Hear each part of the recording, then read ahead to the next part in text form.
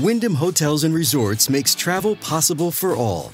Whether it's the long haulers looking for a great cup of coffee, a roomier rest for the on a whim road trippers, or a place to make summer memories with the whole family. No matter who you are, where you're going, or why, with 24 trusted brands to choose from like La Quinta, Days Inn, and Super 8, your Wyndham is waiting. Get the lowest price at wyndhamhotels.com. Restrictions apply. Visit website for more details.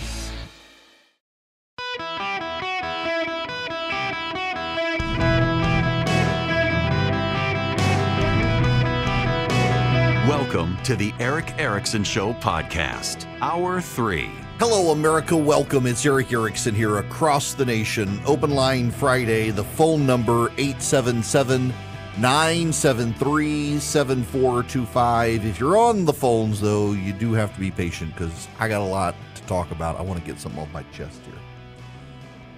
Uh, and I so I full disclosure, I've I've gone back and forth on whether or not I I really wanted to to bring up this topic because it, it's for some of you it's it's a little bit of a sensitive topic. Um, it's about an individual some of you know and like, and but I you know I I, I want to talk about this.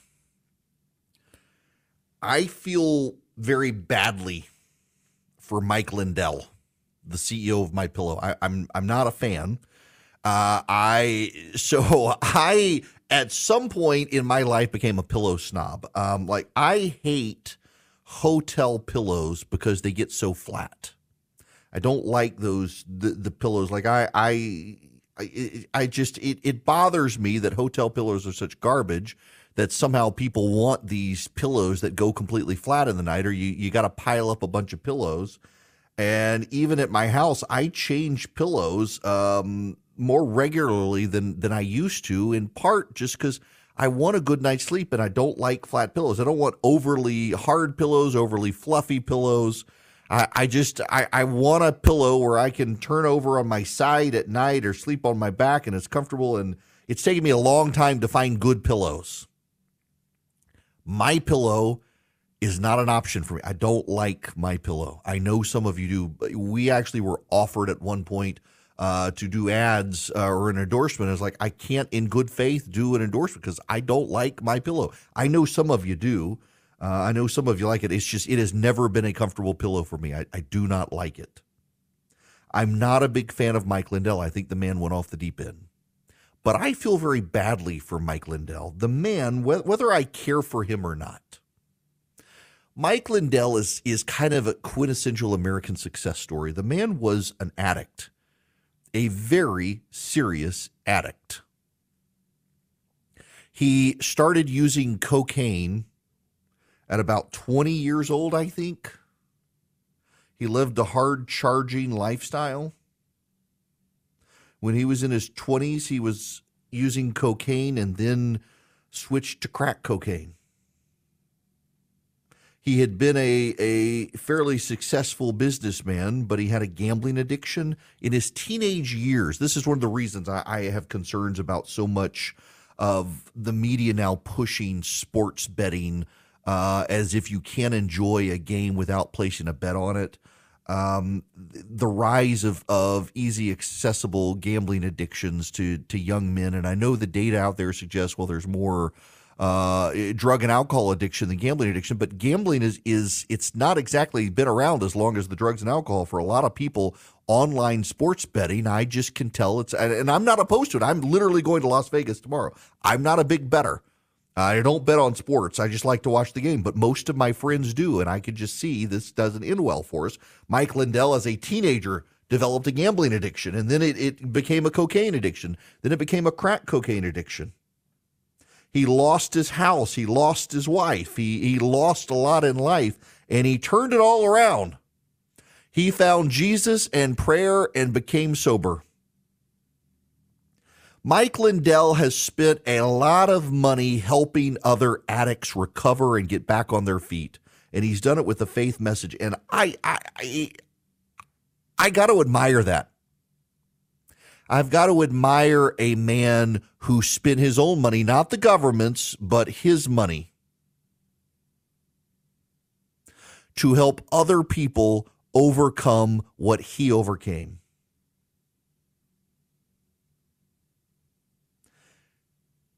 It's just been sad to watch his decline over the last number of years. He helped put up the money to fund um, the attempts to overturn the 2020 election. He didn't just become convinced that the election was stolen. He became convinced that it was the um, the voting machines. It was electronic voting machines, and he's being sued for libel by those companies.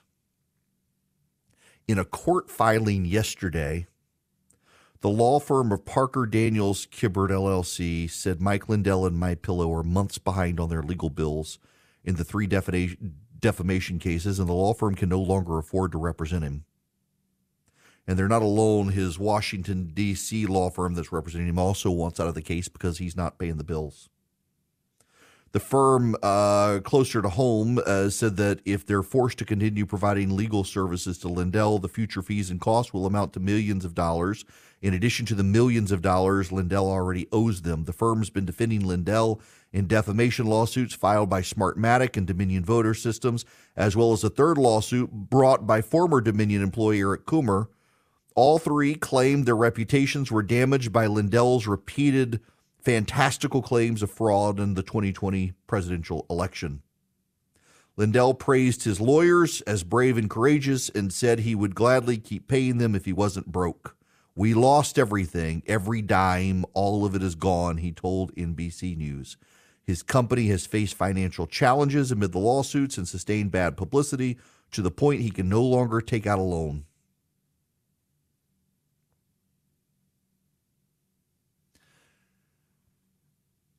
This is a tragic story, and there will be, I realize, people on the left who feel no sympathy for the man.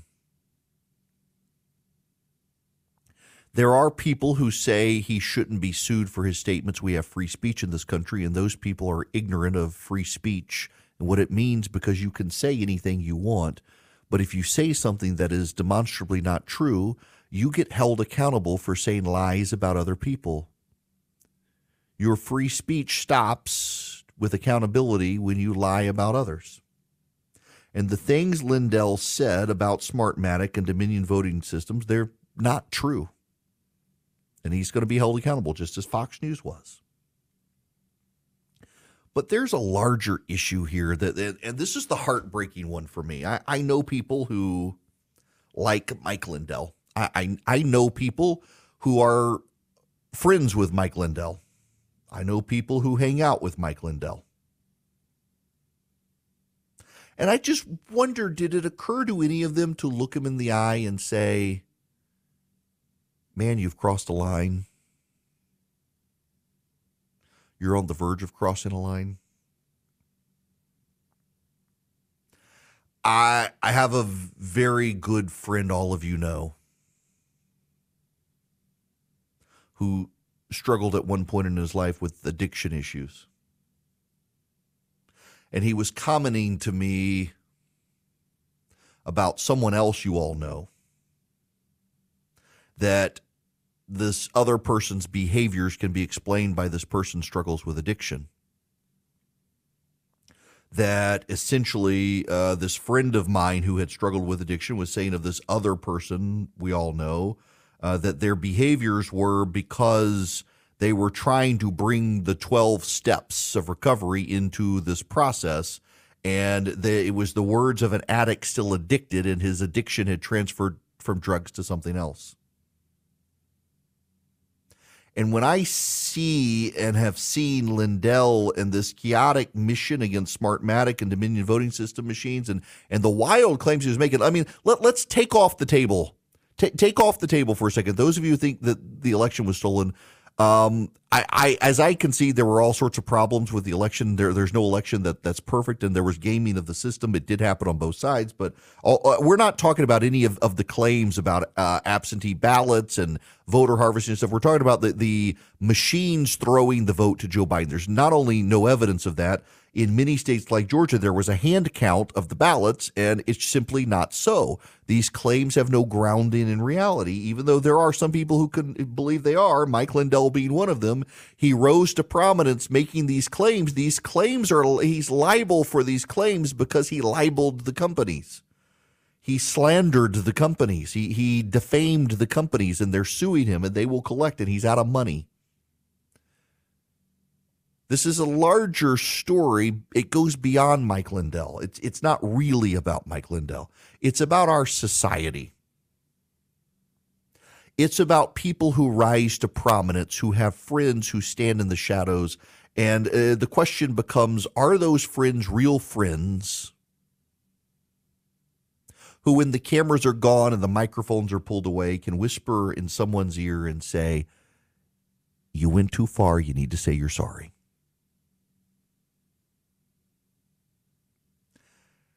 and that's why I, I, connect here and feel bad about Mike Lindell because I, I, I increasingly I'm, I'm mindful of of just where I am and and what I do in my quest for global radio dominance, if you will, the the number of people who enter the orbit and they're hangers on. They're not real true friends. They're they're not people who will whisper in my ear and say you shouldn't have done that. You should say you're sorry. You should conduct yourself differently. And I, I wonder if any of these people in Mike Lindell's orbit are they really his friend? Uh, because if, if they really were, did any of them tell him you're you're getting too close to the sun? You don't want to be Icarus. He's gonna lose everything. Donald Trump's not going to write a check to help him. None of the people who flew with him on his private jets are going to say, Here, let me help you. None of the people who went to his press conferences and cheered him on and egged him on are going to say, Let me help you cover your legal costs, Mike. He passionately believed in something that was not true. And he will bear the consequences of it. And now who's going to be there to help him pick up the pieces? That's that's the tragedy of Mike Lindell is all these people glommed onto him. They loved him. They've celebrated him. They've they've taken him to events. They put him on the stage. They've given him a platform. They've cheered him on. They've egged him on. They've encouraged him to be bold, be loud, uh, and it, it's going to cost him everything. And where will those people be when the lights and cameras and microphones are all gone? Or are, are the where were they when he was flying so close to the sun? And this happens so often, and it happens particularly in, in political celebrity. I, I really, I think of Cindy Sheehan. Remember Cindy Sheehan? Cindy Sheehan used the memory of her dead son to go down to Crawford, Texas, and stand outside George Bush's ranch in 2003 and denounce him and his war, and she became a cause celeb of the left. They put her on TV. She was on TV all the time. She was outspoken.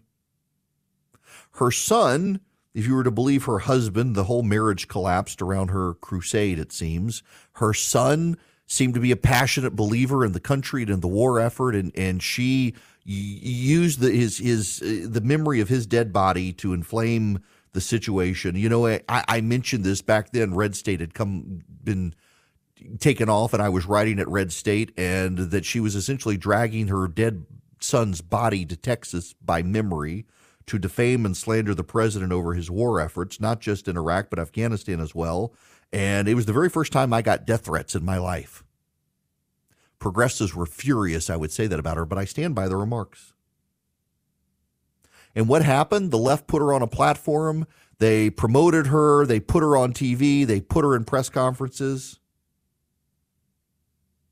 And then she faded away. She started saying more outlandish and crazy things, and no one intervened. No one stepped in. No, no one said, Cindy, maybe it's time to stop. Maybe it's time to take a break. They just kept getting her closer and closer to the sun Mike Lindell, Cindy Sheehan, so many others. We as society do this, and it's just it, it's it's sick and appalling to me. I feel genuinely terrible for this man. And there will be those on the left who say you should have no sympathy for this man, what he did, but I do. I, I have such I, I just I I feel bad for him. He believed in something that was not true, was surrounded by people who cheered him on, and no one whispered in his ear and said, Mike, slow down. You're going too fast. This might not be true. You could get yourself in trouble, and he's going to lose everything. And those people who surrounded him and cheered him on, and to this day make him a hero, not a single one of them is going to write a check to a legal fund to pay his lawyers. He's going to lose everything because of it. It is the tragic story of Mike Lindell. And from it, we can all learn a lesson. Surround yourself with people who are truly your friends, who are bold enough and brave enough to whisper in your ear, that's enough. Be quiet. Apparently, he didn't have anybody in his life doing that. And no one will be there to help him pick up the pieces, except he'll find out who the real friends are, those who do show up to help him. Guys, if you're a small, mid sized business, you're struggling with HR issues, you have employees not showing up, or you got to do a termination, you need onboarding of employees, maybe there's a sexual harassment complaint. You want an HR manager. You don't want to be the bad guy with your employees. Bambee can play the role of HR for you. $99 a month, available by phone, email, real time chat. They do onboardings, terminations. They help your team members get to peak performance, and your business stays compliant with changing HR regulations, regardless of which state. They're great. Now, they're US based. They you got somebody to talk to who's dedicated to your team. They give you access to HR expertise and they add personal touches. So even though they're outsourced by your company, they really feel like they're a part of your team. That matters. Go to Bambee.com right now, type in Erick Erickson under podcast. When you sign up, it'll help my show. Bambee.com, B A M B E E.com, Bambee.com, Erick Erickson in the podcast tab. Hello there. It is Erick Erickson here. The phone number is 877-973-7425. I, I would like to dedicate this entire segment here as a moment of shame on one person. Tomorrow, I'm taking my team to Las Vegas. We have meeting, radio meetings out there, and, and we're going to go to the Monday night football game uh, the Las Vegas Raiders versus the Green Bay Packers. I own the Green Bay Packers. I'm going to go watch them play. One of us who will remain nameless does not have TSA pre check. And it's not just that he doesn't have TSA pre check, it's that he's prideful, prideful about not having TSA pre check and for some reason will not bother to go get an appointment, I would pay for him to have TSA pre-check. But he doesn't want to bother. So the rest of us breeze through security while he's getting his prostate checked by the TSA agent. That might be why he doesn't want TSA pre-check come to think of it. And then we got to sit on the other side and twiddle our thumbs and wait for him to show up. We're I'm taking a friend with us he has TSA pre-check. But Philip, come on, man. Take one for the team. Go get your TSA pre-check. Shame, shame, shame. I can move on now. It infuriates me every time this happens. Why do I even travel with him? Okay. Just come on, man. It makes it so much easier to travel. T- Patriot Mobile makes it easy for you to fund the conservative movement. All you got to do is move your cell phone service to them. You move your cell phone service to TSA uh, to, TSA, to Patriot Mobile. See, see, move your cell service to Patriot Mobile, and you get guaranteed great service using the same cell towers you're already using, more likely than not, and they fund the conservative causes you care about. They fund parents running for school boards around the country who are conservatives battling the wokes. They fund the Second Amendment movement, the pro life movement. They fund conservatives around the country. It's such a great idea. And all you have to do is move your cell phone service to them. You can even take your existing phone number and move it to Patriot Mobile. So you don't even change phone numbers. All you do is go to patriotmobile.com slash Erick patriotmobile.com slash E-R-I-C-K. You can zoom into your house, see how good the 5G, the data, the voice is, all the service you already have. You can get them from Patriot Mobile. If you want to do it on the phone, you call 972-PATRIOT. 972-PATRIOT.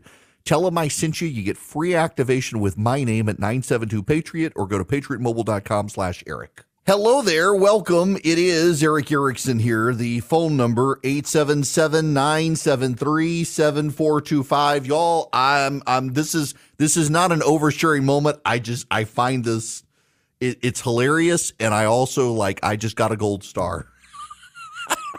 I feel so bad for the guy.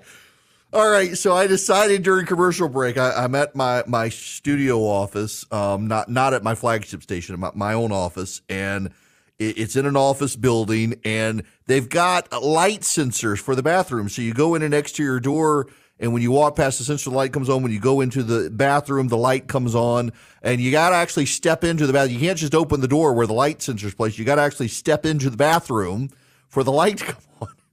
And I'm like, oh, this is great. There's nobody in here. The lights are off.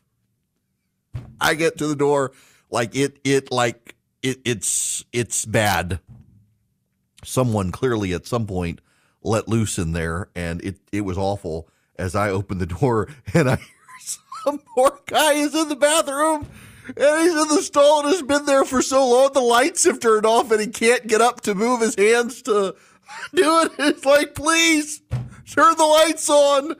I didn't want to walk into the bathroom and stuck. Ah, haven't used the bathroom, but I did do my. I took one for the team and stuck my arm in there and waved to turn the lights on before leaving. Poor guy. I don't know what's going on, but that poor dude needed some help. He, and I mean, I've never been in there long enough to have the lights turn off on me, but this man has managed to do it. Somebody say a prayer for who's ever in that bathroom. Good Lord. All right. On that note, I'm going to go to the phones. It is an open line Friday, 877 973 7425. Uh, Michael, you're going to be up next. Welcome. Thank you, Erick, very much. I enjoy your show. Thank I you. I got a comment and a quick question.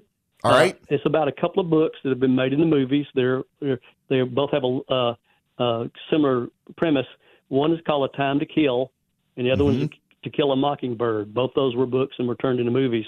And the premise of both those books, who people who don't know, is can a black man receive a fair trial in the South? So my question is, can a conservative receive a fair trial in a blue area, in a legal area that's a Democratic area, can that person receive a fair trial? Not if he's Donald Trump, I don't believe. so much you write a book. Yeah, look, um, it, I, I, I think this is so. So let, let me explain this in, in all seriousness to everybody. I think Trump gets a fair trial down in Florida, uh, and and he could get a fair trial in Fulton County because the media wants you to believe it's this this bright blue area, but there are actually some very right. Republican areas in Fulton County. The problem is in that New York case, it is I think completely dependent on the judiciary there, which to their credit has been pretty fair to him. Like for example, this trial that's going on with his properties. I think that judge gets reversed a lot on appeal. And I I will honestly be shocked if Alvin Bragg's case makes it to court. Um, given the legal precedent he's trying to set, I don't know that I, I really will be shocked if the state and federal courts in New York allow Alvin Bragg's case to go because he's essentially claiming something that in the history of our republic has never been claimed before. And I don't think he can do it in that case. But if it does go to trial, I don't see how you find a fair jury in New York City. I, I really don't. I realize there are Republicans there, but I, I don't see how you do it. Uh, in the in the Jack Smith case in the District of Columbia, I don't know how you find a fair trial there. I mean, look at just take Fulton County, where I think you can find a fair trial. I think you can get a fair jury. The grand jury, look at the the, the kooky woman who chaired the grand jury who went on MSNBC. Um, right. You're going to have these situations. I it's it's going to be very very hard to do. And I do actually think, and this is one of the downsides here, Michael, is because the Jack Smith case in D.C. involves so many defendants.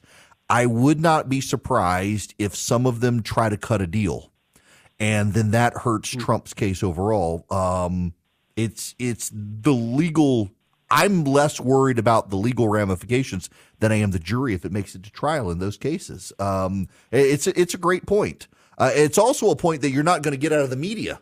because the media don't care. They're not fair. They're they're completely biased against the man. If I rate the cases against Donald Trump, the Alvin Bragg case again, I actually will be surprised if the Alvin Bragg case makes it to trial. Alvin Bragg is essentially claiming Donald Trump violated federal campaign finance law and therefore violated the state laws of New York. There has never been a case like this. And in fact, the legal precedent suggests you cannot bring that case because federal law says to bring a campaign finance violation against a candidate, you have to bring it in federal court. No one's done that. What Bragg is saying is that Trump violated federal law and as a result violated New York law. And I, I, it is so legally dubious. Even his predecessor in office and most of the lawyers who have worked for him said you can't bring this indictment, and he did. When you look at the other trial in New York, uh, one you will note that Donald Trump's cam- Donald Trump's legal team did not want a jury trial. I mean, this case that's going on with the property in New York the reason that it's not a jury trial is because Donald Trump's lawyers did not ask for a jury trial. They could have checked the box that they wanted a jury trial and they chose not to. For Donald Trump to now come out and say, oh, why aren't we having a jury trial? We should have had a jury trial. His lawyers chose not to. That's not appealable by Donald Trump. You need to understand that, despite what his team is saying and what he is saying, he can't appeal that he doesn't have a jury trial because his lawyers chose not to. Now, he can sue his lawyers for malpractice. I don't think he's going to. I think they made the conscious decision they couldn't get a fair jury. Let's leave it to the judge. I don't think they got a fair judge, and I think a lot of it gets uh, reversed on appeal. It is notable, and I guess to some degree correct the record, that $18 million valuation for uh, Mar-Lago, that's the tax assessment valuation, which sounds right, actually. Um, the tax valuations are far less than like free market bank transactions. So for taxable author- for taxable value, 18 million is actually in line with properties, and it's what the local Palm Beach tax jurisdiction came up with, and it was kind of uh, inflated in that the the Trump team saying this judge found Mar-a-Lago to be worth $18 million. It turns out the judge didn't do it. The judge just reflected what Palm Beach tax, um, what the Palm Beach tax people did. The problem is that what the judge then did is he equated that to what banks would value at, and that's where the mistake comes in. And I think that's reversible on appeal. I think the statute of limitations issue uh, is reversible on appeal. Uh, it, it's it's I, I just it's it's a dumb case, not as dumb as Alvin Bragg's case. The only really serious case for Donald Trump, and, and they're all serious to a degree because they're I mean they're being prosecuted, but the really serious case that Trump is going to have to deal with is the case in Florida on classified documents, and that case is before a Trump appointed judge in an area of the country that uh, has a generally conservative pool of jurists. So that one, I think he can actually. Uh, he, he's going to get a fair trial on that one. And I don't know that they, they may find him guilty. I don't know that they send him to jail in that case. The problem for Trump in that case, and this is is a very easy problem for you to understand, is that he's being charged with withholding classified documents from a grand jury it's a very cut and dry case from my vantage point, whether you think he had the right to do so or not. When a grand jury subpoenas information from you, when it subpoenas documents, it says hand over all of these documents, and you give them documents and say, this is all we have. When the FBI then comes around and finds a hundred some odd more documents, that's kind of prima facie evidence you didn't give the grand jury what they wanted and you broke the law by doing so. His his the jury the response should have been to file an objection to what the grand jury wanted, and his lawyers never did that. And ultimately, that's on him. And again, he can sue his lawyers for malpractice, but he can't get out of the the criminal situation. That's the dangerous case in my mind because it's so cut and dry in my mind that when you first have archives say hand over documents and you give some and say this is everything we have and then a grand jury comes and says, actually, there are more, give us all the documents, and he gives some more. And then the FBI shows up and you find even more documents. It doesn't matter whether they tried to hide the documents. It doesn't matter whether they tried to delete video footage. It doesn't matter whether they moved documents. It doesn't matter whether he tried to keep documents from his lawyer. What matters is they found more documents. The subpoena was very clear. Give us all the classified documents. You clearly didn't give all the classified documents. You can argue over whether or not they were classified or not, but they had the classified markings on them. And the grand jury asked for all of the documents that had the classified markings, and you clearly didn't give them all. Therefore, you clearly did defy the grand jury. Therefore, you clearly broke the law. It's a very cut and dry case. You can quibble about the uh, some of the, the outer peripheries of it, but it's fairly cut and dry when the grand jury asks for info and you don't give it to them, and the FBI finds all the stuff. That's a very difficult thing for him to get out of. It's a very difficult case for him to get out of. That being said, they'd be absurd to throw him in prison for that. So he may be found guilty but have no jail time. He can still run for president. He can run for president and be in jail. If that's the way the Constitution works. That blows people's minds, but it's true. The Fani Willis case, I think she's the dog that caught the car and is about to get run over by it. Same with Jack Smith in, in Washington. And the Alvin Bragg case, Alvin Bragg's an idiot, and I think his idiocy is going to be exposed. You know it's bad when even MSNBC won't talk about that case because it's such a bad case for Alvin Bragg, not Trump. Now, back to the phones. Linda, you're going to be up next. Welcome. Oh, Linda, shoot. hi. You there? Hi. Um, yeah, I'm here. Uh, did I accidentally uh, shut it off? Can you hear me? Yeah, I can hear you. Okay. Uh, this By the way, I this is a appreciate you saying shoot instead of a word you're not supposed to say on radio. Thank you for that. Uh, this is a comment on something I think you were talking about yesterday about uh, environmentalist complaints about the 20 miles of wall Yes. in whatever county that is and the cute little ocelots and so forth. Uh, well, where I live in Central Florida, there are roads with wildlife corridors underneath them, uh, mandated, and they tend to be large, like, okay, bears, uh, uh, Florida panthers, and things. But it, it's really not rocket science to uh, get something like that and size it for a cute little ocelot because a cute little ocelot friendly corridor is not going to be big enough for a human. right. It it's it's basic mechanics. It's like, are you smarter than a fifth grader? and there's a unfortunately This is a lot Joe Biden. Have you seen Joe Biden speak, Linda? I'm not sure he is. No, he's not. And unfortunately, I'm not sure if the EPA guys are, are either. Yeah, no. So I, I will tell you, um, we we know today that they're building them on. They're like pontoons that have spacing for small animals to get under them. Uh, and it actually turns out uh, for there are legit reasons to build them on these pontoons. Uh, one because they do think that once these walls are set up, uh, that the illegal aliens are going to go in a different direction, and these walls are mm, by build, being built on the pontoons, they'll be able to move them where they're needed. But there's another issue, and I didn't even realize it. So it's a Texas desert, but it has a rainy season, and it floods so much. Yeah, and Monsoon. and so by being on these pontoons, these walls can ultimately float. Uh, if if the rivers rise, the creek they're going to be put in dry creek beds where people are crossing, uh, and they're afraid that it can cause all sorts of, of flooding issues unless these things float. They're anchored so they don't float away. It's it's kind of a neat engineering concept. I wasn't uh, I wa- there was a video last night I saw I think on Fox News about how they're building them.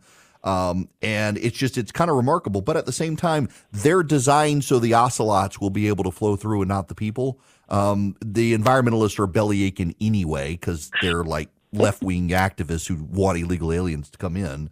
Uh, but you're right. I, I mean, they do have ways to build these things and, and make it. Uh, but the man, the environmentalists are so upset by waiving the Endangered Species Act. Um, Yeah, but I, I consider myself an environmentalist, but I do have a brain. You know, there's, Yeah. ways around it. And you know, by the way, so I've seen uh, driving down to, to Orlando uh, when I go down to WDBO down there. The like, there are areas where like they have signs about wildlife crossings and stuff, and like the road is elevated for them to get under. Uh, out in Well, Las Vegas, they do it. Yeah, in Las Vegas, they've got overpasses that are for the uh, mountain goats to be able to cross. So yeah, it's it's it's totally doable uh, and Yeah. doable in a way that the illegal aliens can't can't do it. So thank you for that. That that's that's a great point. I appreciate it. Have a great weekend. Uh, y'all, before I get out of here, I got to tell you about Americans for Prosperity because they're doing a nationwide bus tour, maybe coming to your area, to educate people not just on why Bidenomics is bad, but how you can reignite the American dream. And the way you ignite the American dream, reignite it, is to deregulate and get government out of the way of small businesses. Um, so many of the burdens of regulation fall on small businesses. Americans for Prosperity are educating even state governments and some state governments that may not even be inclined to work with conservatives, but realize we got to like uh, stimulate the economy and the way to do it is through deregulation. It becomes very easy to do through deregulation to help small businesses. So they're educating people and they want your help to do it and they want you to be a part of their tour. All you do is go to americansforprosperity.org slash Erick, americansforprosperity.org slash E-R-I-C-K. You, you sign up. They've got over 4 million activists nationwide involved. They teach you, they educate you, they give you the information to be the smartest person in your circle of friends, the most knowledgeable person on these issues. So people come to you and get the information. You educate people easily. You go to your state legislatures, even your city government, school board, tell them how to reignite the American dream. You become an advocate for free people and free markets and small government. Go to americansforprosperity.org slash Erick today. Sign up with them. Be a part of this great mission around the country. Over 4 million people are a part of it. americansforprosperity.org slash E-R-I-C-K. Uh, so stop me if you've heard this one. A campaign says something salacious happened, uh, and it turns out uh, they didn't actually tell the truth. Vivek Ramaswamy's campaign uh, yesterday, he was in Iowa and um, said that protesters at a coffee house rammed his campaign car. Police, on the other hand, say that a woman was eating lunch at a deli, backed out of a parking spot into the campaign's rental vehicle. Report was taken, and the driver was released uh, with a summons for unsafe braking or unsafe backing. The driver was not at the protest, didn't know who it was, and did not intentionally back into the vehicle, nor did she flee the scene of the accident uh, after Iowa police released a statement saying that what the campaign said happened did not happen. Uh, the campaign released a video of a person in a car flipping off Ramaswamy that does not actually show the collision, while claiming that the video showed the person screaming, laying on the horn, and then reverse ramming into the candidate's parked SUV. The video doesn't actually show anyone reverse ramming into the candidate's parked SUV. Uh, so apparently now the Ramaswamy campaign is attacking the police in Iowa, uh, claiming that the police in Iowa are lying. Um, I think I'm going to believe the local police department that doesn't have a dog in the fight. Um, come on, people. Come on. Are we really going to believe that the police are in this to make a presidential candidate look bad? The police, really? I'm just, I'm so freaking tired of the entertainment brand of politics when we have such serious issues that we as a country have to deal with. China, by the way, um, there's a story out in the Wall Street Journal, is beginning to kidnap uh, foreign executives.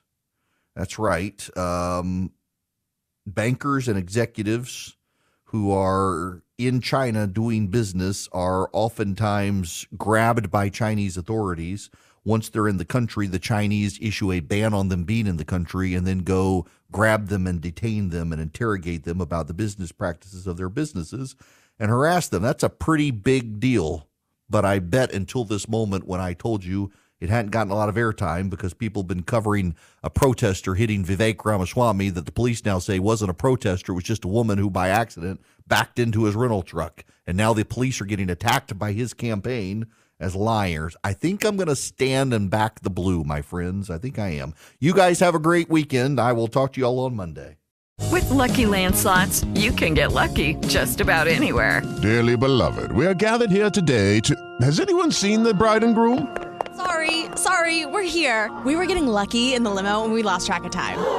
No, Lucky Land Casino, with cash prizes that add up quicker than a guest registry. In that case, I pronounce you lucky. Play for free at LuckyLandSlots.com. Daily bonuses are waiting. No purchase necessary. Void where prohibited by law. 18 plus. Terms and conditions apply. See website for details.